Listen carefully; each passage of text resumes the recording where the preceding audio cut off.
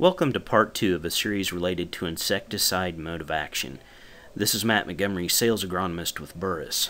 Part two will review organophosphate and carbamate mode of action.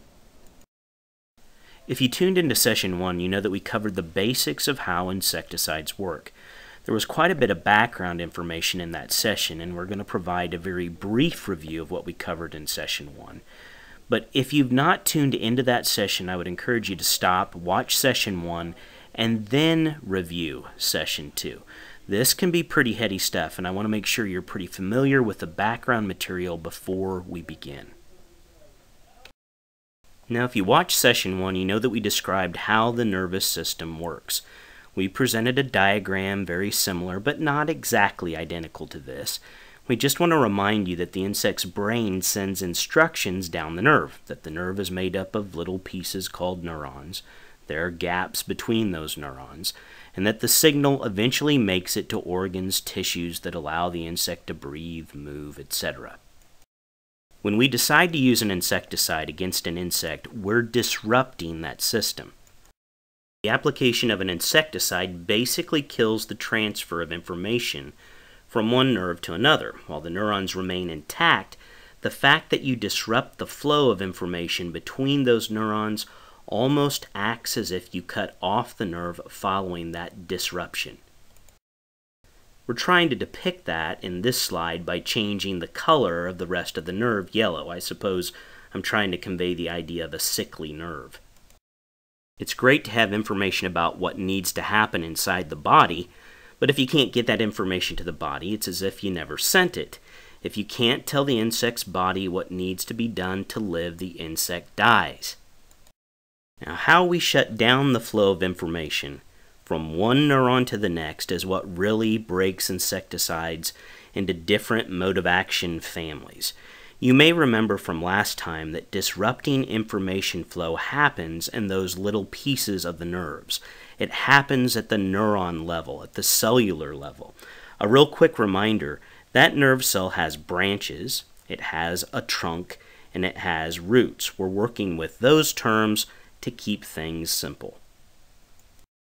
Remember, the roots of one neuron are oriented toward the branches of the next neuron. There's a gap in between. We also need to mention another little but extremely important mechanism. It is the idea that there are keys and doors in neurons. The key from one neuron opens the door in the next neuron, which causes information to flow from one neuron to the next. Let me just quickly show you what that looks like.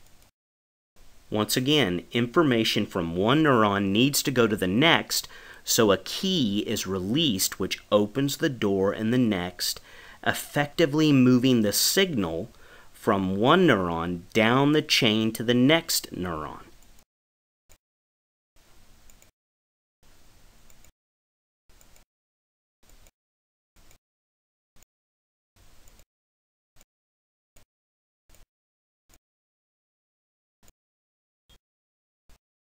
Now that gives you the general idea of how a signal moves from one neuron to the next. However, there's one more important step, and it's important in today's discussion. You have to close the doors and stop the signal or bad things happen. That means you have to get rid of the little key.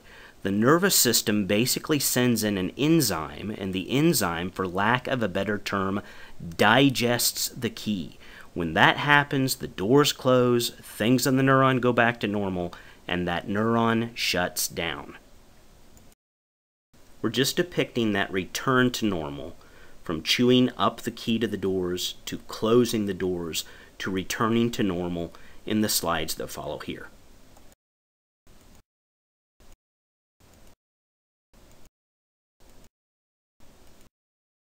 Now you see what happened.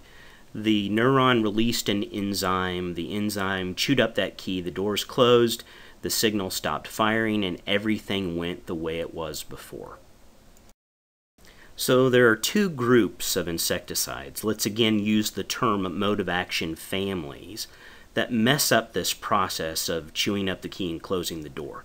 They bind to the stuff that chews up the keys. That's why I inserted the little picture of a ball and chain on a stick figure. The two families are the carbamates and the organophosphates. You can see a few of the common carbamate insecticides mentioned in this slide, Sevin and Furadan for instance. Now Fortress, Lorsban Counter, and a portion of Aztec are members of the organophosphate family. Now, even though we're trying to keep things simple, we do need to use the correct terms. And the correct term for this mode of action would be acetylcholinesterase inhibitors. That's the right name for this family. Once again, these products bind to stuff the enzyme that chews up the keys, and the name of that bound up enzyme is cholinesterase. Now, let's just quickly show you what happens when carbamate and organophosphate insecticides screw up this process. The key is released and crosses this gap between the two neurons, just as it should be. The key is inserted into the door or gate of the next neuron, just as it should be.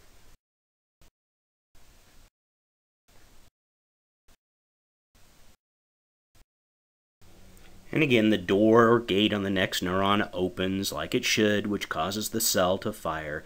In other words, the signal or nerve impulses move from one neuron to the next, again, just as it should be.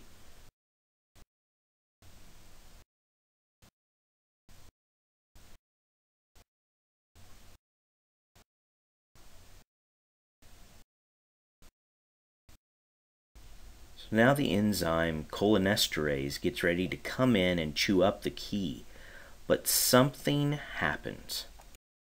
And that something is that the insecticide, the cholinesterase inhibitor, gets in the way. That means that the doors stay open when they should be closed. An open door means that the neuron just keeps firing and firing and firing and firing. But it's not supposed to do that. It's kind of like trying to call home when all the phone lines are busy your important information can't get through. For the insect, the important information to move, to pump blood, etc., can't get through.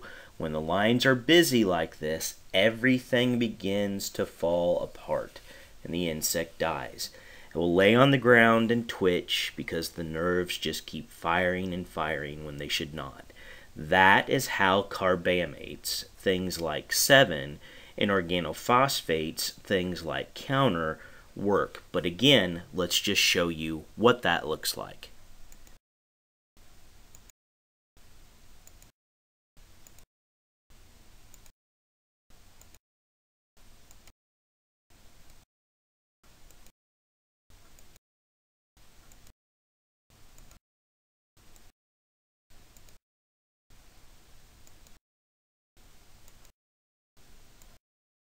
So let's just review here one more time what happened with carbamate and organophosphate insecticides.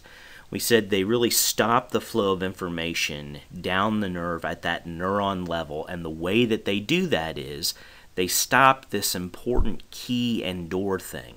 You need the key from one neuron to be sent across that little gap to open the door in the next neuron. That's what sends the signal from one neuron to the next. And then you need that door to close. You need the neuron to stop firing. You don't want it to keep firing. That's like static on a radio trying to hear something across it. You just can't get the information through. So that fell apart when we used organophosphate and carbamate insecticides because they screw up the stuff that chews up the key. The nerve keeps firing. The nerve's busy when important information needs to come along. Well, thanks for watching this pretty intense lesson on insecticide mode of action. And as always, stay tuned for more insecticide mode of action and crop production information from Burrus Agronomy U.